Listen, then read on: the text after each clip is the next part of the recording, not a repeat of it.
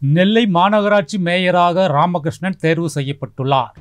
நெல்லை மாநகராட்சி மேயராக இருந்த சரவணன் கவுன்சிலர்களுடன் ஏற்பட்ட கருத்து வேறுபாட்டால் பதவியை ராஜினாமா செய்தார். இந்நிலையில் இன்று புதிய மேயரை தேர்ந்தெடுக்க மறைமுக தேர்தல் நடைபெற்று இருந்தது இந்த தேர்தலில் கிட்டு என்ற ராமகிருஷ்ணன் மற்றும் பவுல்ராஜ் ஆகியோர் போட்டியிட்டனர். இதில் கிட்டு முப்பது வாக்குகளை பெற்று வெற்றி பெற்றுள்ளார். அவரை எதிர்த்து போட்டியிட்ட பவுல்ராஜ் இருபத்தி மூன்று வாக்குகளை மட்டும் பெற்று தோல்வியை சந்தித்துள்ளார். மொத்தம் ஐம்பத்தி ஐந்து உறுப்பினர்களில் அதிமுக கவுன்சிலர் ஜெகநாதன் மறைமுக தேர்தலில் பங்கேற்கவில்லை. மேலும் பதிவான ஐம்பத்தி நான்கு வாக்குகளில் ஒரு வாக்கு செல்லாது என அறிவிக்கப்பட்டுள்ளது. தற்போது தேர்வாகியுள்ள மேயர் கிட்டுவுக்கு எதிராக இருபத்தி மூணு நபர்கள் வாக்களிக்க உள்ளதால் இவருக்கு மாநகராட்சியில் எதிர்ப்பு இருக்கும் என எதிர்பார்க்கப்படுகிறது. இந்நிலையில் மேயராக தேர்வாகியுள்ள கிட்டுவுக்கு அனைவரும் தங்களது வாழ்த்துக்களை தெரிவித்து வருகின்றனர்.